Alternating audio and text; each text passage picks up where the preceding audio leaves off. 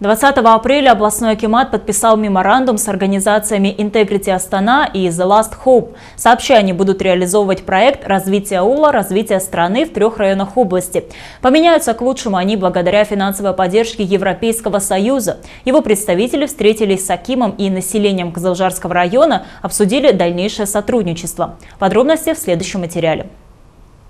Кызылжарский район состоит из 19 округов, которых 69 сел. Жанас Адвокасов рассказал, что в Бесколь ежегодно переезжают около тысячи человек. Людям нравится жить и работать в пригородном селе. Кроме того, поддержка населенных пунктов со стороны государства с каждым годом становится все больше, отметил Аким Кызылжарского района. Пять лет назад, грубо говоря, на сельские круга, конечно же, мало выделялось, но сейчас огромная поддержка идет села, это и программы такие, как АУ ЕЛБСГ, и дорожная карта занятости, и дорожная карта бизнеса. Очень большие идут средства. И сейчас, э, если раньше, допустим, на округ может быть от 100 до 500 тысяч выделялось всего лишь, сейчас меньше 15 миллионов на округ нет. На каждый округ. Вне зависимости от численности.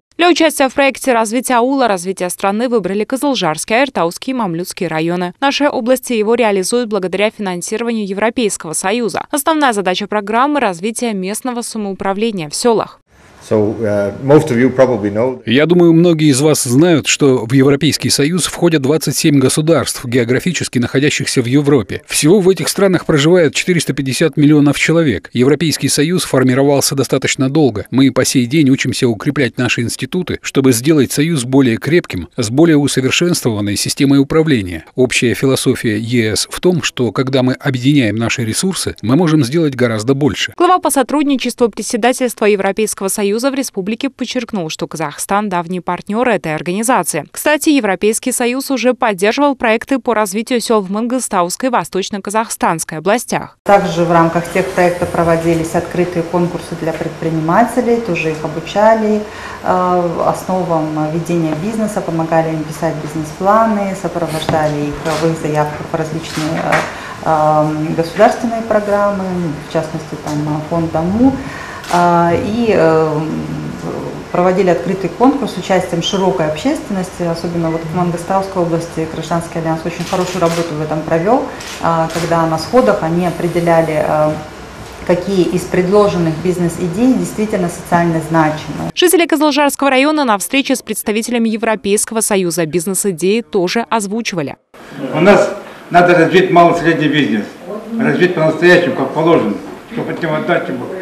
А малый бизнес у нас от чего начинается? Если сегодня тысячи тонн шерсти, тысячи э, штук эти шкуры мы не, не можем никуда сдать. Почему? Потому что их не понимают, нет цены.